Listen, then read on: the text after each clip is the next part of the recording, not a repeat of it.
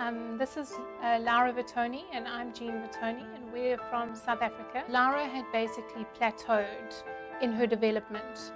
So she wasn't able to descend steps easily and climb steps easily. Um, her development was delayed by about four years and she has cerebral palsy. So the right side of her body was quite weak and she struggled with um, many different things. Yeah, that that all changed when we we heard about Neurogen from um, one of the children at her school had come to Neurogen, and they had also had fantastic results.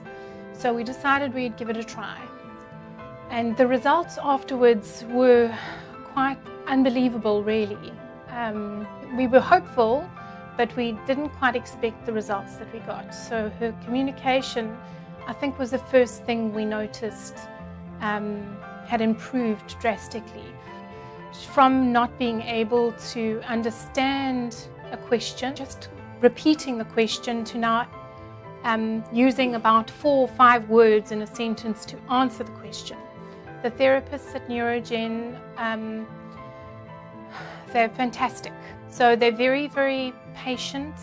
They don't let the children get away with not doing their activities, which often we as parents um, give in because we're just tired of fighting. The doctors at Neurogen are amazing. Um, we met um, Dr. Sharma and Dr. Nandini and a whole team of doctors that are here. Very knowledgeable um, and very happy to impart their knowledge.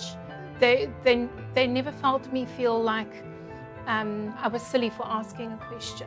Overall, uh, we're happy that we, we came to Neurogen. We really are. I definitely would recommend if you're thinking about bringing your child to take a chance. They really, really are a fantastic team. And it's worth giving your chance, your child a chance.